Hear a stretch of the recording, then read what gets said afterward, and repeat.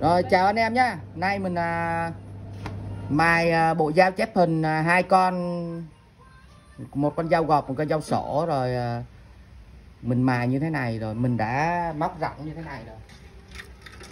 Đây. Mình đã đã chẻ bằng à, đá cắt sắt như thế này rồi nha mọi người. Bắt đầu mình bo hai bên.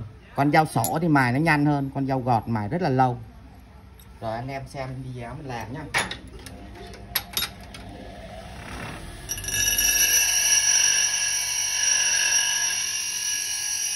Thì thôi, chạy qua lấy cái à, khẩu trang ấy.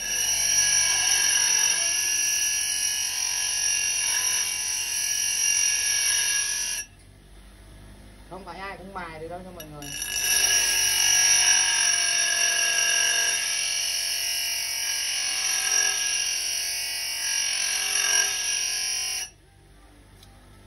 mình mài con dao này là mình phải học khoảng tầm, mình tự mình làm á hai năm trời, hai năm, mình mới mài được con dao mà ưng ý theo mình thôi. Năm anh em nó đâm ra mình à, bán hàng và bán hàng mẫu, anh em cứ về, anh em mà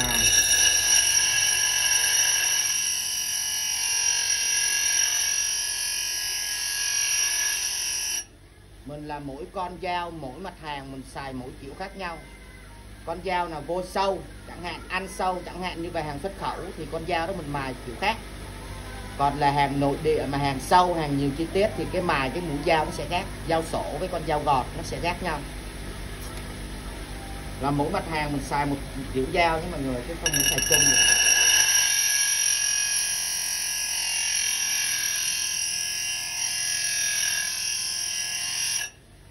dao làm hàng à, con sông thì mài theo kiểu làm con sông mà mài cái kiểu mà làm hàng nhỏ, làm lồng chim. Thì nó lại có con dao để mài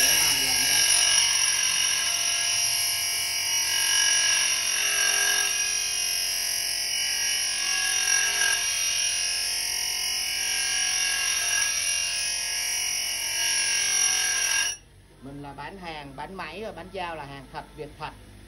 Cái dao mình đã sử dụng mình cảm thấy nó ok thì mình mới bán cho anh em xài. Chứ mình không bao giờ mà bán cái dao dở mà mình nói là dao ngon. Không thể nào mình bán chỗ đây được tại vì mình làm là uy tín. Đấy.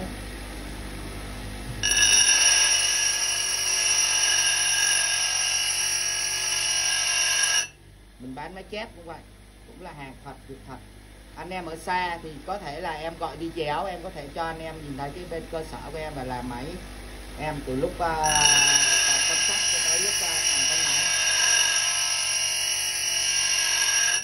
sẽ có cho test thực tế ờ, máy chép và kiểm tra về các loại mối hàn về ờ, bọc đạn bi từng cái chiếc trong ốc một.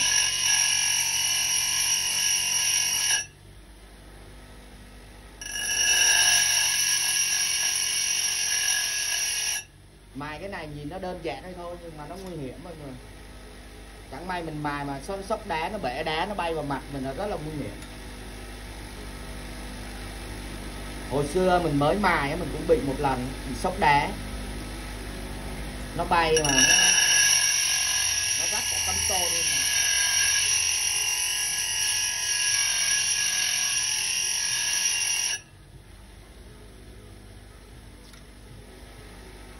Mình làm tổng cộng là 22 năm nghề tiện 23 năm nghề tiện mình mới rút ra được một bộ dao mà làm nó hoàn thiện mà không bị mút dao không bị sốc dao đấy mọi người đó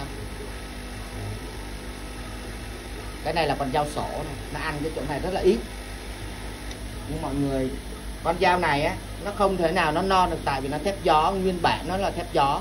Còn cái loại mà thép mà thép thép taro á, thì mình mài cháy nó sẽ bị non nha mọi người. Còn cái thép này nó không có non mình mài cháy là nó sẽ nó già đi. Năm nay mình phải nhúng nước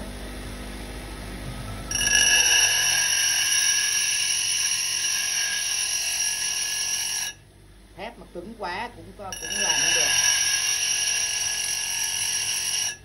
Cứng quá thì cái tình trạng á, là tiền gỗ. Chẳng hạn như thép à, thép tốt chẳng hạn như cây này à, em thí dụ như nó nó khoảng là 3 đồng 2 đồng thì cái cây thép tốt nó khoảng 3 đồng rưỡi hoặc 4 đồng. Thì cái cây thép tốt á, chỉ có kinh tiệm sắt được thôi còn nếu mà mình tiệm theo cái kiểu như này thì nó sẽ chẳng hạn như mình đang làm cái cây mềm thì nó sẽ vô một cái hạt cát thì nó sẽ tự mẻ nó sẽ mẻ tại vì nó cứng nó giòn. Còn cái này thì không mẻ nhé. Nó không bị mẻ dăm. Hồi xưa mình lại có loại rất tốt về sau này đây cái, cái, cái, cái loại này này. Đấy mọi người thấy cái loại này không?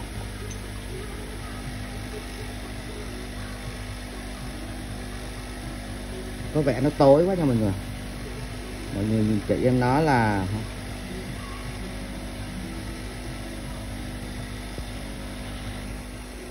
có vẻ nó tối quá. Cái này là, đấy, nó lại là cái loại đó là HSS cái loại này á, nếu mà mình làm cây cao su hay là cây mềm, nó lâu cùng. Nhưng mà cái tình trạng nếu mà đang làm mà nó vô hạt cát là nó bị mẻ, nó bể luôn. Nó bể một miếng đâm nó phải mài lại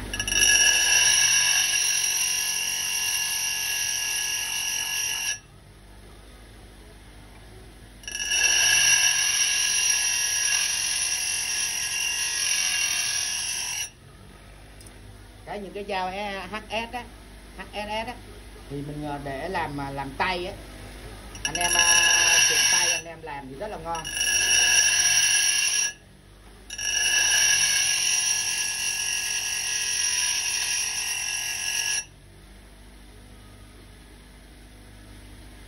Mà một dao rất là kỳ công mình.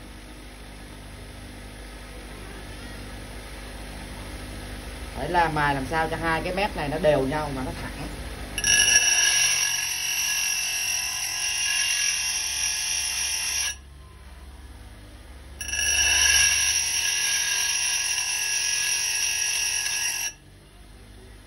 Mép này á, hai cái mép này mài không được quá dày mà không được quá mỏng. Chẳng hạn như mình để tiêu chí của nó là 3 ly, mình trừ cái giữa 3 ly là tổng cộng là còn 9 ly không quá dày mà không quá mặn. Cái này là mình mới bo thẳng thôi. Rồi lát mình qua đá mình bo cho nó cái à, tròn.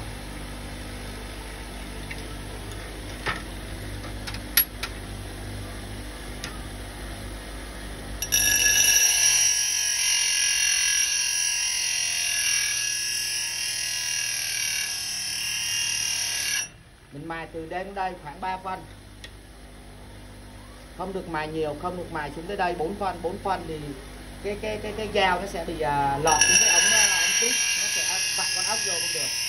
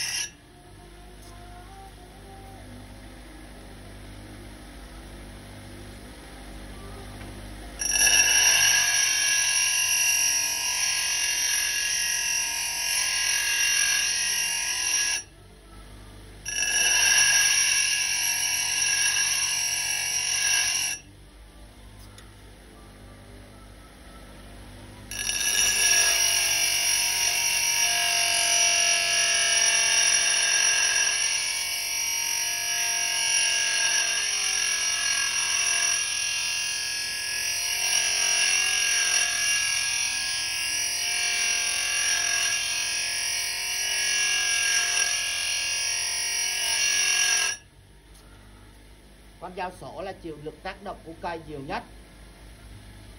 Con dao gọt nó chỉ gọt sơ.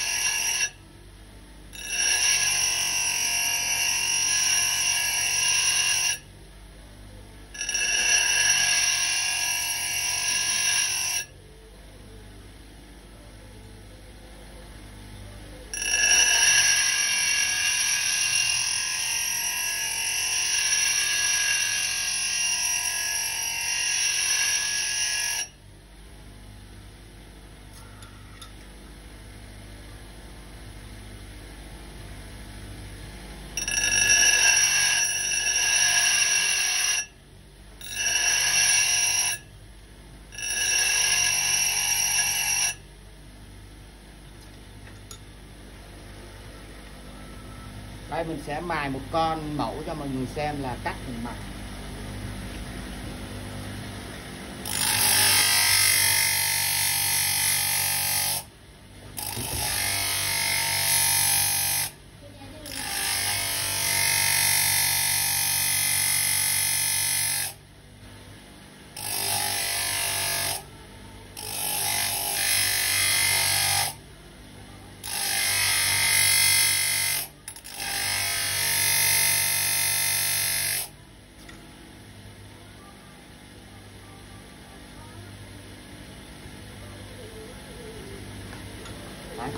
coi như cái mặt ngoài mình đã bao xong à.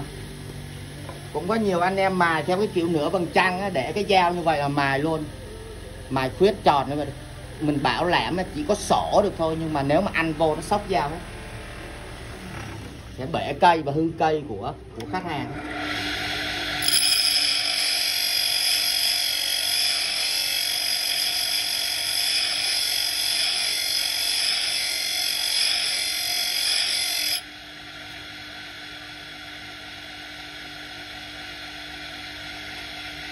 muốn uh, mọi người làm tay á, thì có thể là mọi người kẹp cái này vô để cho nó nó được thẳng. Con dao nó sẽ được hoàn thiện hơn là khi mình cầm cái tay mình kéo. À, nó phải vuông góc với cái này đó bắt đầu mình cho lên kéo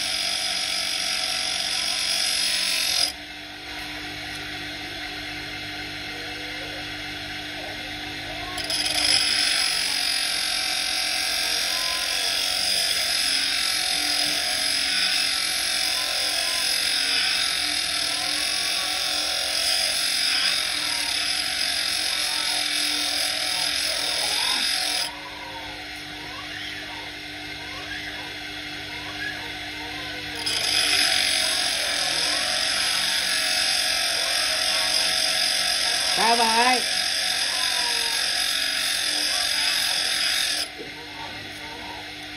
làm gì đây? Thôi cho năm người đi.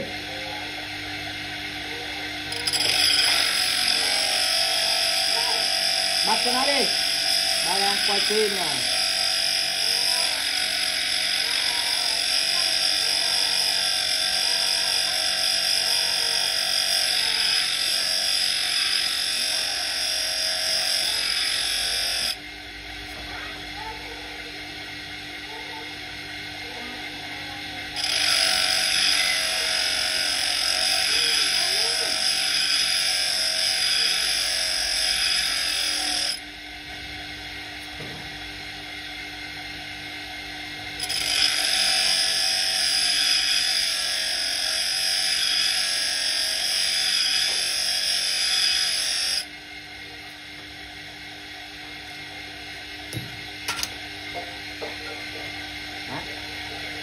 coi như à, mình đã móc xong. Móc xong cái mũi dao sổ nhé. À. bây giờ mình sẽ mài mũi thôi. Hôm nay mình mài mài bén là xong.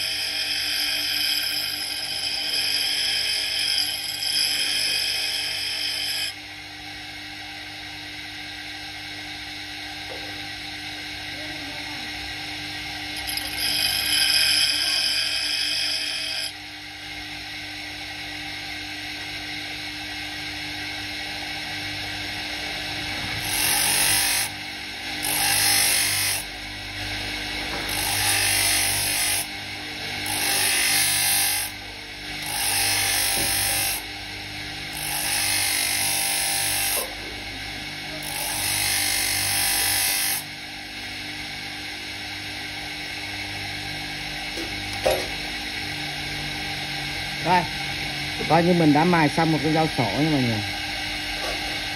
Đó. mép thì không được dày quá nó không được mỏng quá. Không phải nó tối nó bị phản cái à,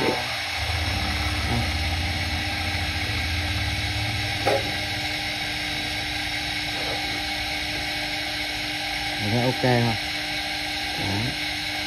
nên nhớ khi mọi người mua dao của mình là nó nếu mà nó cùn thì mọi người chỉ được cái mài ở trong. Mài ở trong ví dụ cái này mà nó hết, mọi người lại móc rạn tiếp. Phá chừng nào hết con dao xuống chừng nào xuống tới đây, còn 5 phân mọi người bỏ. Một con dao này nếu mà mọi người xài thì phải tầm nửa năm mới hết một con dao này nữa nếu mà nó không bị gãy hoặc là không bị mẻ nhiều, chẳng hạn như nó mẻ to như vậy là mọi người phá đi. Đấy, thì nó lại hết nhắn còn là cứ mặc cùn mà bài thì một bộ này mình cứ một năm là mình thay à, bốn uh, con có khi chưa hết bốn con. Chứ con dao dao gọt thì đỡ nhưng mà con dao sổ nó chịu lực tác động nhiều đâm ra nó hết nhanh hơn. Chẳng con kia thì uh, một con thì uh, nói chung là 80 100 đấy. Con dao sổ thì nó sẽ hết uh, 80 phần trăm nó nhiều hơn. Đấy. Đấy là con dao sổ này mình đã làm xong rồi chào anh em nhé. Ừ, anh em có nhu cầu về máy à, về bộ da chất hình thì cứ alo cho mình. Mình bán hàng à, kèm theo máy và bán, cũng bán rời. Anh em muốn đặt một hai bộ gì đấy, mình sẽ bán cho một hai bộ mà như vậy. Lá này mình bao xài cho anh em luôn nhé. Rồi chào anh em.